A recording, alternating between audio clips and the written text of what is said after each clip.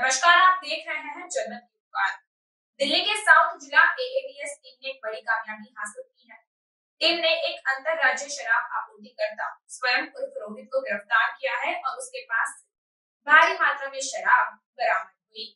DCP अंकित चौहान के अनुसार एएटीएस south ज़िले की टीम को साउथ जिला क्षेत्र में शराब की बिक्री, आपूर्ति को नियंत्रित करने का कार्य सौंपा गया था। रोकथाम और क्षेत्र में अपराध का पता लगाने के लिए संवेदनशील इलाकों में जाल बिछाए गए। इसके अलावा टीम ने स्थानीय मुखबिरों को संवेदनशील बनाने और मानवीय सूचना एकत्र करने का भी प्रयास किया।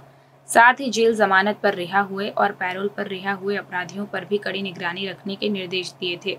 संदिग्ध गतिविधियों में शामिल लोगों की जानकारी जुटाई गई। क्षेत्र में गश्त लगाने के लिए कई टीमों का गठन किया गया और गश्त को तेज करने का निर्देश दिया गया।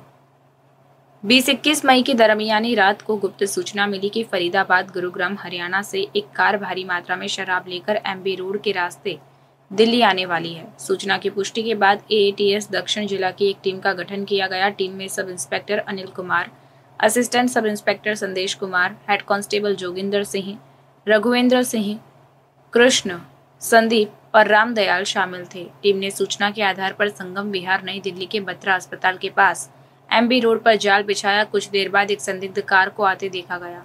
मुखबिर के बताने पर कार चालक को रुकने का इशारा किया गया, लेकिन रुकने के बजाय चालक भागने की कोशिश करने लगा।